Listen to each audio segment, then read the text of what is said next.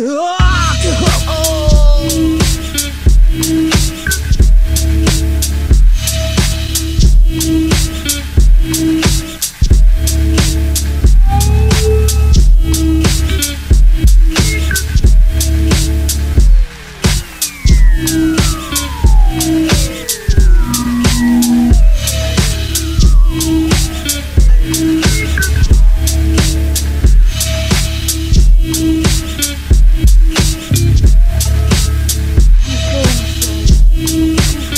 down.